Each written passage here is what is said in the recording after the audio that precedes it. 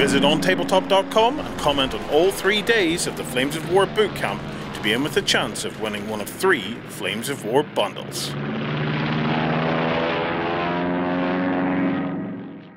So we've reached the end of Saturday here at the Flames of War D-Day Bootcamp. What a day it's been, Warren. Yep. What a day. It's been amazing. I'm tired, man. I'm tired. Of, uh, it, look, the boot camp has caught up with me. Three three weeks of intensity has caught up with me. You're tired. I was uh, I was watching this game. Exactly. You were just watching the so yeah, uh, it's been it's been great. Do you know what we'll do now, though? Yeah. Let's let's finish. It. We we started a vlog series. Yeah. About how we, we were going to build Normandy. Okay. Right. Yep. How about we we show them the finish? Oh! And, and we actually we actually finish the vlog series. Not like that we would ever leave a vlog series No, unfinished, no, we're never going to do that. Such a good idea. If you want to see how we got on and got the tables and all set up, there's a whole series, like he's mentioned. But this is how they turned out.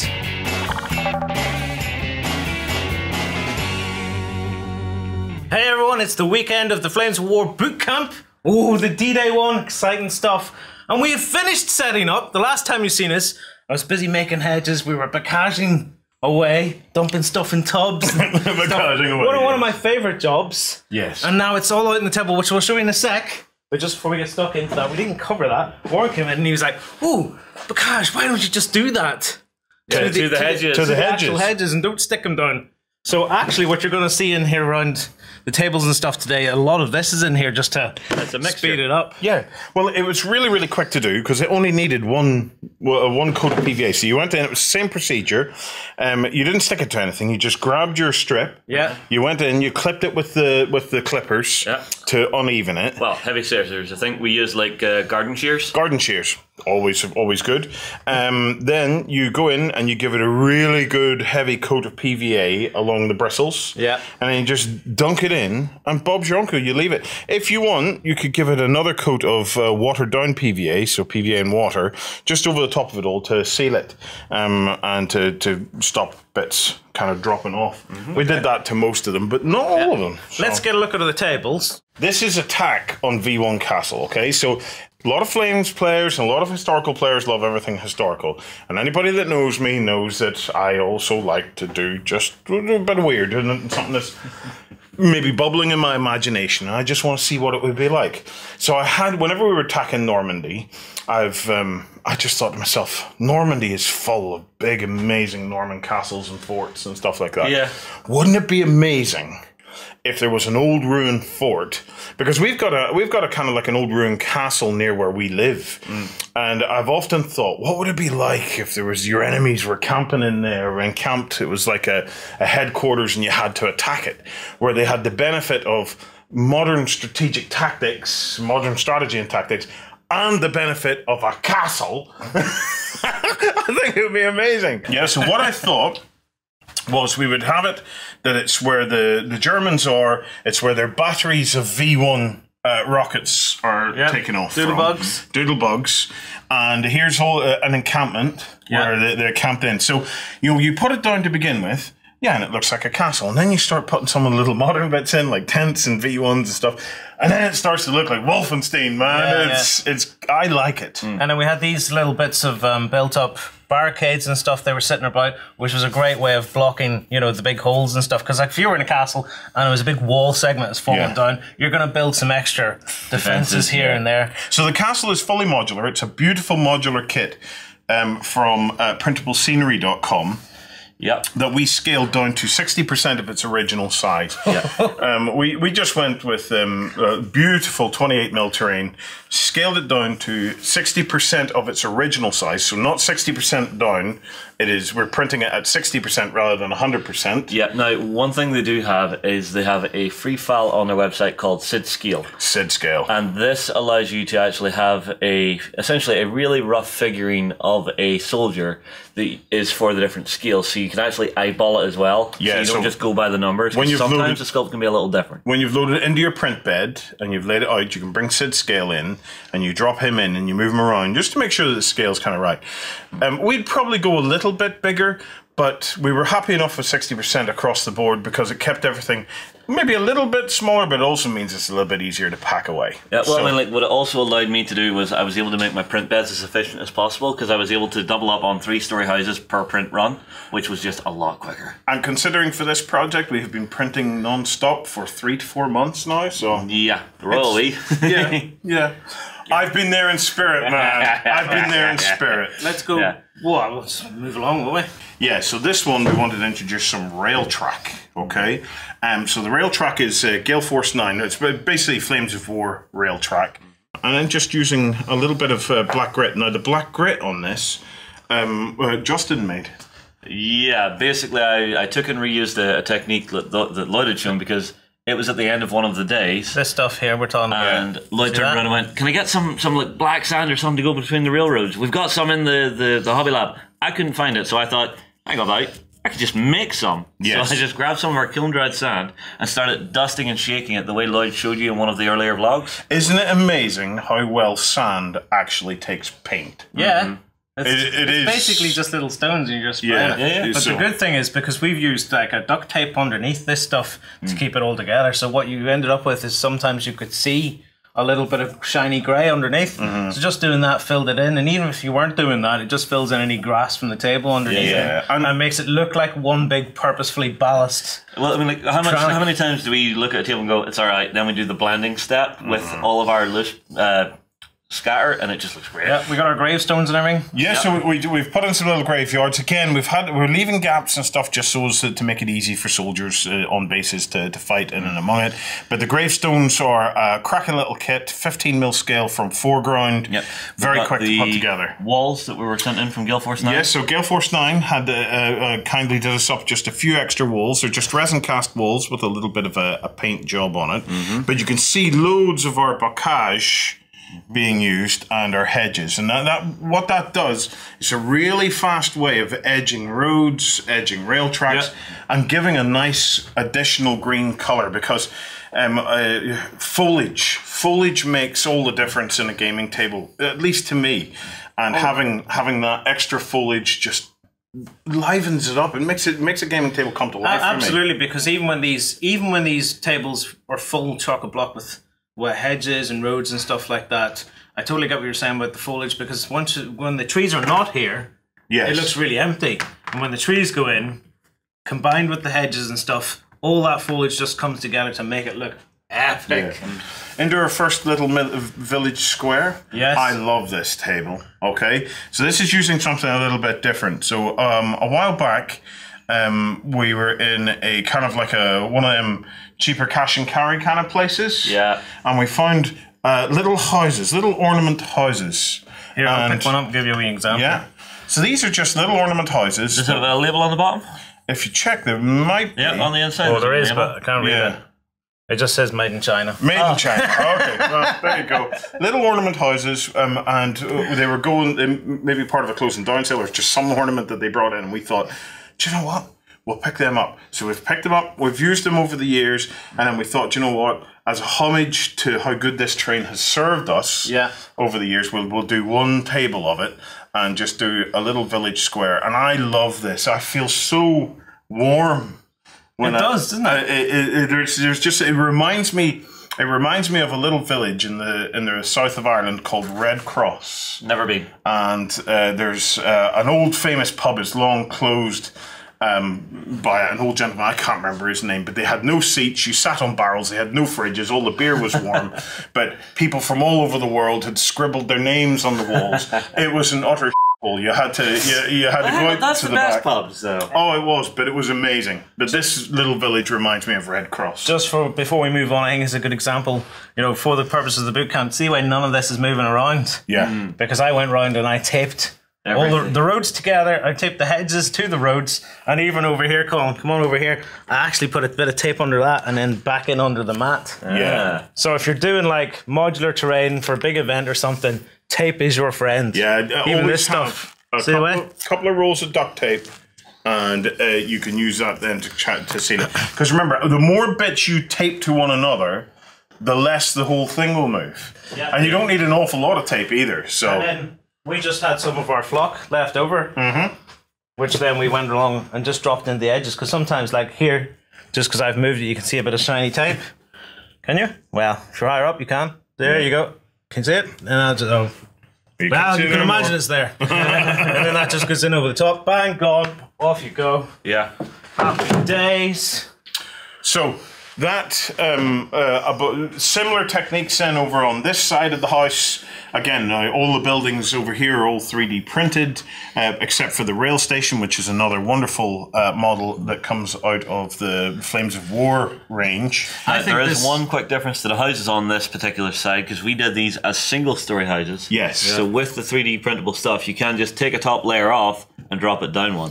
And what that meant is that we were getting three houses per print instead of two houses per print. Exactly. Um, so it started to speed us up. In, And I in like this table weeks, a lot so- too because Jerry brought in this book Mm-hmm. about Normandy and it had aerial photos and stuff. Yeah. And I was looking at, oh, the wiggle in the road looks just like what we've been doing. Yeah. And I was dead chuffed with it. Remember, we have a full vlog series of the build up to this where we've been showing you the techniques that we've used to build all the roads and things. So the roads are built from uh, wallpaper and self adhesive vinyl tiles. Yeah. It's a, everything we've done.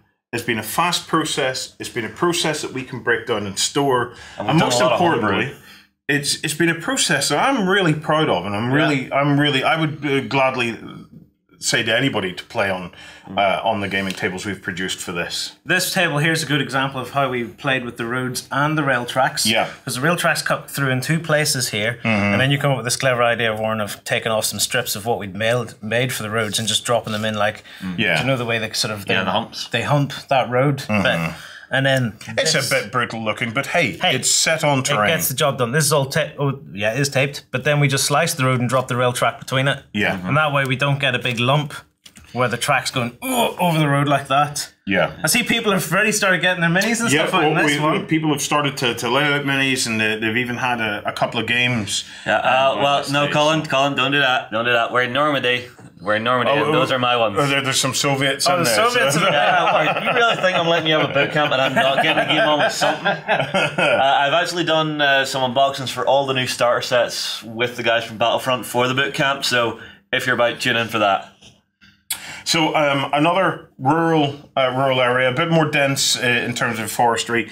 Um, again, I've never been to Normandy, so we've uh, based this on pictures and places that I have been, which is in Ireland because Yes. I, I don't like to fly. So um, the guys hate it, but I love it. My tall erection. Um, here is a tower. It's a defense tower by monks. So the narrative here is that this was always a religious site, and before the church was built, this was a monastery. Okay, and uh, to protect themselves from Viking raids, because the monks had to get the idea from somewhere. Yeah. the Norman monks. I don't know. Okay, I mean, built built a tall tower that they could hide their beer in and their wine and uh, stay out of the way of Vikings. I mean, it's fun and all, but I'm not sure I'm ever going to get used to looking at it. I love it, man. I, and do you know what? That's all that matters. It's This, fun. this, this one kit sums up why we don't let Warren build the IKEA furniture in here. Because it'll look fun. Instructions? Bah! What instructions? it didn't need instructions, man. It just needed glued, one layer on top of the other. It looks good to me. Right, Right. that brings us to the end of the rural tables. Come on Yes. over here. Do you see what we did for the for the inner town? Yeah, so um, large town because it, it, fighting happened through them as well. So we decided to Look at recreate a uh, a large uh, town, and we're hoping that our players are going to get a chance to um, play a big participation game on this. It started with the mats. So Yes. we got Gale Force 9 mats. This is the reverse side of the mats that we have used in the rural side. In the rural side, you'll remember the, the mats were more kind of stepland from what you would see in way over Eastern Europe and the and the kind of the east, the battles in the east. Yeah, yeah. So they were very very yellow. So we um, mixed up a green, um, a series of green uh, fabric dyes and. Um, air gunned them on to to tone them. tone them to the color that we wanted. When it came to, we flipped over the other side, we found that the the gray of these mats was just too grey, too bright, I think it too was too harsh. clean. Yeah, It blended perfectly well with the buildings and stuff as they come with the range. Yeah. But we wanted it to look like a town that's been bombarded, hence. yeah. The footage that we had uh, and the photographs we had seen, there was a lot of destruction. So we wanted to uh, when we first built it, we we thought, well, we could go clean, and then we thought, no, let's get some destruction into this, and we put it out to you guys in the vlog, and the overall response was, yeah, let's do some destruction. So we set to work on 3D printing. Um, a load of destroyed buildings Yeah, to which give is us a variant you can pick up. Yeah, so again, printable scenery have a destroyed variant. Also, Lloyd has went in with clippers and and destroyed buildings and went in and destroyed them even Yeah, more. So these two in particular used to have roofs and stuff on them. Well, that one definitely did, and then I just cut it on down. It's surprising how hard this plastic is, though. Yes, Oh, the PLA, yeah, I yeah. couldn't believe when I started trying to clip that. it breaks clippers. So I did gotta break a pair of clippers. Did you break a pair? Yeah, you got to be, you got to be careful. It can break clippers. So once we got all the three D printed buildings, um, uh, if you in the vlog you'll see how we weathered these buildings. Um, we used the same weathering process on the three D printed buildings after we had printed them. Yeah. And then we laid down the excellent rubble mixes, Lloyd, Yes. that you had been we making. spent Again, ages. Look at the previous vlogs. Martin Laughing Boy came over and helped, so we set him to work with cutting little bits of wood for eight hours. Looking around here and inside the building. and you'll then we see these. sprayed sand, yeah. sprayed it red, because we knew in this part of the, the factory district, the buildings were red, so we're going to need some red dust to make it look like the bricks have just exploded when they Yeah, hit. yeah. So that's why there's a lot of red dust in around there. And then around the other buildings, there was sort of greys and blacks and browns. And then at the very end, I had this sort of ash stuff that I just sprinkled all over it, and, it's, Um, and it did a really nice as well, It did a so- really nice effect because it landed on all the roofs. Yeah. And it looked like ash had gone into the air and then fallen down and settled back down. So it was, I was looking at it going, ooh, that helps really tie in any buildings that aren't even like have, don't have rubble and stuff because now it ties them from that. Uh, to they've had a what's bit on- of debris land to on what's lying on the mat and stuff. Yeah. cracking job. And then the final step then it was uh, tuning the light rigs that we have to give us a few different lighting effects. So I will go and switch those, and I'll leave you guys to, to talk about the, the different effects. So Yeah. Just just while he's doing that, come on over here. We've got a church as well. This was a larger rubble mix. It was kind of a last minute thing. We thought, oh, we'll put the church in. Yeah. So you won't have seen me do this. You will probably have seen me actually filtering this to get a smaller rubble mix that we used. Yeah, but it kind of makes sense for the church because they would have been built with a faced stone. Yeah, and then we used the smaller stuff in there, but then when we come to do this, it didn't really look right. So we mm. needed to get the, the big rubble mix in. And then the layout, right? You'll notice as you look around, I've made sure we spread buildings out. Like they're clumped together in little twos and threes and stuff like that. But every little block has a destroyed building because when you want to do this, you want to have an excuse. Oh, hey, we're going into light mode special light mode. You want to have an excuse to throw down rubble mix and stuff all over the place.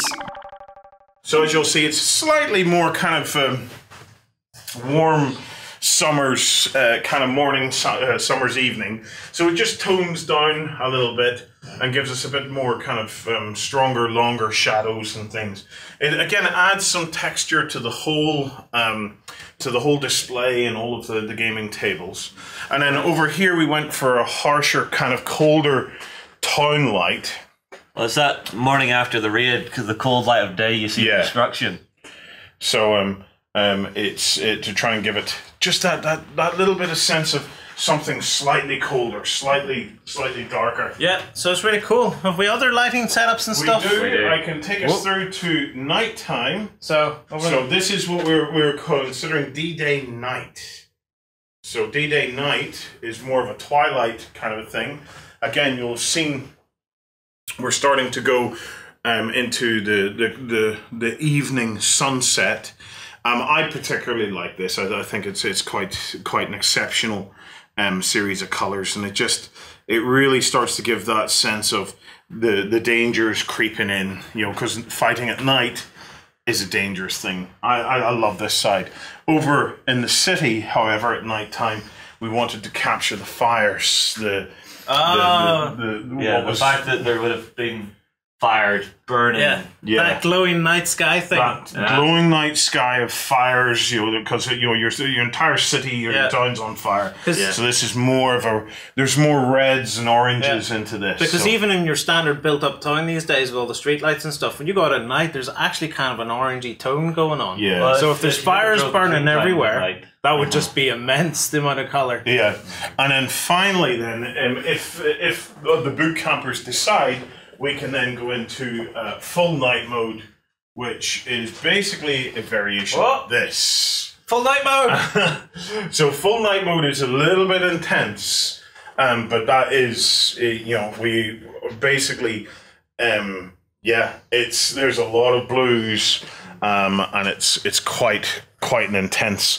thing to, to play. You need your torches for this whenever you're reading your rule books and the Well, likes, but. It's it's interesting. You remember Band of Brothers? Yes, Flash. yeah, Ah, you idiot. no, No, the callback. Whenever they jumped, Flash, Thunder. no, gods. no idea, no idea. Right, so it is the So- weekend of Yeah. the boot camp as I illuminate myself, Yes. as you can see me. Oh, you're a little bit. Uh, Oh, it is the it is the weekend at the minute. So come on over to the website. Yes, On tabletop.com, look for the live blogs. There's one for each day. There's a Friday one, a Saturday one, and a Sunday one, and there's some epic bundles that you can win by commenting on those things. Comment, uh, put your comments into each of the live blog posts. We'll be picking winners at random, one winner at random from each of the three days, and they're going to win themselves a Flames of War bundle um, of games, books, and uh, it's great. It is great. I'm having a blast. Right, we'll see you over there.